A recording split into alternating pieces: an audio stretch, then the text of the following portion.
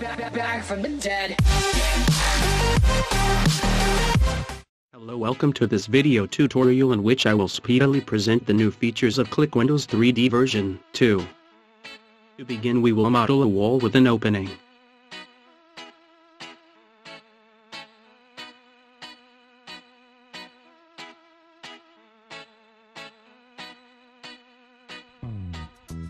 There you go. Now let's import a window. You will notice that the toolbar is in mode 1 by default. Let's see what this mode is. First things first you can resize your window with the scale tool.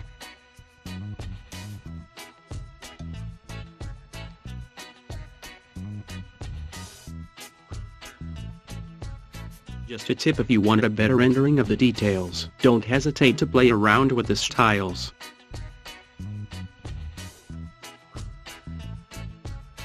Now, let's see how to set up a window in Mode 1.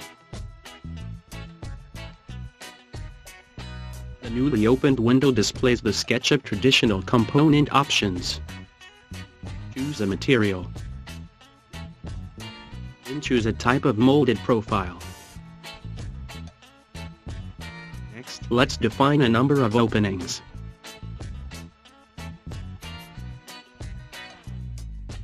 We will add muntins to give a traditional style to our wooden window. Staying with the same logic we will add a molded frame to our window. As a first example, let's take a further look at these settings.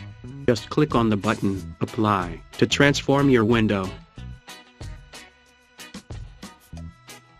Just for fun, let's add a few more muntins higher up.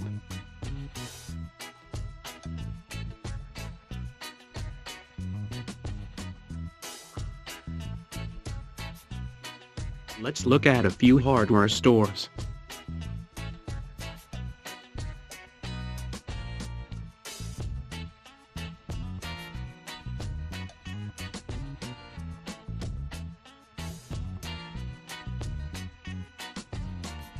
We will choose several types of espagnolettes.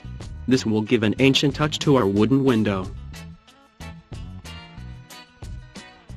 Let us choose similar hinges in polished brass same as for the Espagnolette.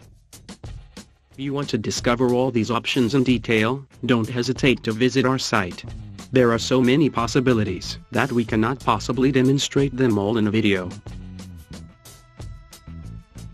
That will be all for Mode 1. We will discover Mode 2 in our next video, which might surprise you.